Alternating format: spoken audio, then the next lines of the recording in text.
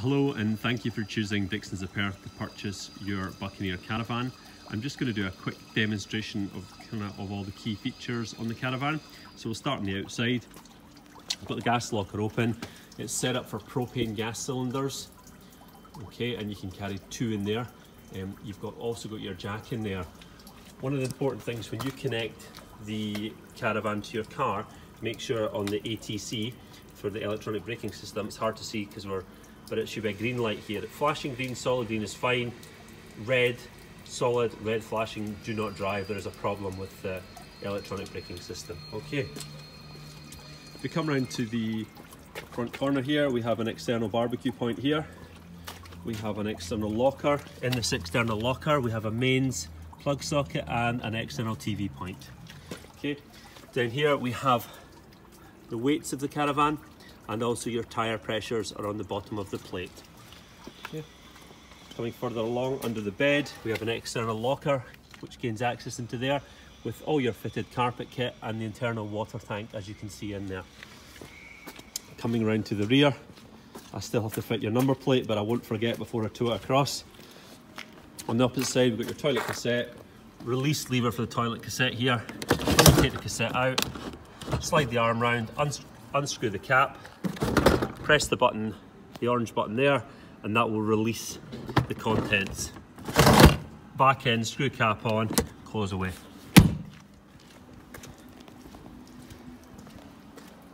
Coming down to this external locker, a couple of things you need to about here. Our leisure battery is in here. Our mains hookup point. We've got an external uh, socket and uh, an external plug-in for a satellite. If you're on a site with a satellite TV connection, plug in there. Also, we have the isolator for our motor mover. When this is turned on, okay, you must turn the remote on within, I think it's about 30 seconds. Otherwise, the systems don't sync together and you just have to start the process again, okay? Also on this side, we've got our connection for a whale system and you've also got an external Truma shower point. Okay, that there is just the flue outlet for when the heating system is getting used on gas. We'll quickly walk back round and go into the internal of the caravan. As we go into the caravan, you'll see the switch down here for the E&P leveling system. There is a remote control, which I'm just going to get into my hand. So when you switch the remote control on, lift the jockey wheel completely up is the easiest way to explain to you. And then there's down and then there's up. And then you can press that button and you can manually override if you need to fine, fine tune it to get the level perfect. But the easiest way to explain, again, make sure the jockey wheel is up because the leveling system won't work if the jockey wheel is in the downward position. Come in the door, in here, you've got your main on-off switch for the caravan. You've got internal or external switch to the water pump. You've got your battery levels there and your internal water tank, which has obviously been drained. You've got your uh, alarm tab there, which is on the keyring. And you've got your Alde heating controller here. So when the Alde heating controller comes in, comes on rather, just takes a second. If we press menu, and we have all the features here. So at the moment, that one's your top one's your temperature. The next one down is for hot water. That is for electricity settings and that is for gas. Okay, on, off. Green is on. Okay, there's also settings in here and automatic functions, which if you go into the handbook, you'll be able to go through them if there's anything you're unsure of. Okay, to switch the heating off, all we do is hold the button in and as you can see it says off and it'll shut it down. Under the one of the front seats we have our mains breakers, we have our 12 volt fuses which are marked up. And importantly under here, hopefully you can see this, we have a yellow drain valve for your boiler. So up and down is in the drain position which we've got it just now. Okay and then just pull it down to close that. But in winter time always leave that in the up position. The other thing we should always do in the winter time is leave all the taps open.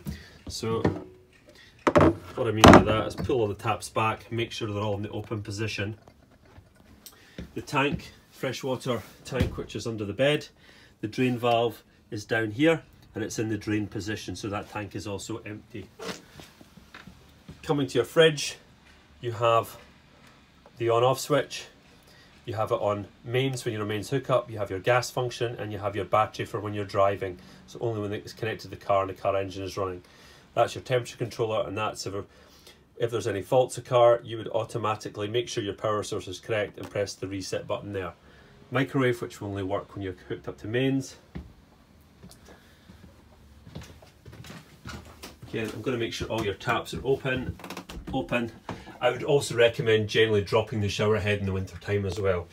Okay, obviously this has got an Alde heating system, so it's a wet system, has a glycol fluid in it, so this doesn't get drained.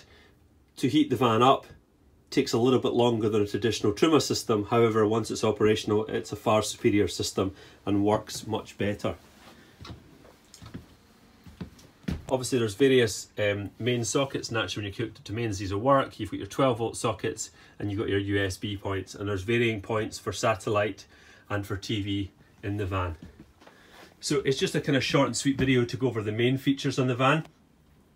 Um, if there's anything else you need to know, we always say refer to your handbook, which is in the book pack, which we'll leave out for you. Uh, again, anything else, if you phone the after sales department, um, which is the same numbers as the sales, but option two for after sales. We're more than happy to go out through anything with you. Uh, kind of lastly, on the motor mover, so when we've turned on the isolation key in the battery box, you've got, you, you'll see there's kind of two, two on-off buttons. You need to hold both them on, you need to press both together to put it on, but only one to switch it off. When you put it on, let it flash and sync up. Once it's synced, then you've got, you press this one, and that one, is to with the wheels, I can't remember if it's the wheels on or off, and the opposite one will be to release it from the wheels. So that basically electronically engages the mover onto your tyres. At that point, you would then, once they're onto the tyres, you would manually check, or visually check rather, you would then release the handbrake and use the motor mover as you desire. Then you would press this, and then the button to take it off the wheels again, okay? So that is clearly going onto the tyre, and that is clearly going off. Now I'm looking at it again as you can see a bit closer. So the, the, the same procedure before you, when you're finished using the motor mover, make sure you put the handbrake on and then you would release the mover. When you're finished, one of these buttons turn it off and then turn the isolation key off in the locker. I hope you new, enjoy your new caravan and anything else at all you need to know, please don't hesitate to give us a call. And thanks once again for your business.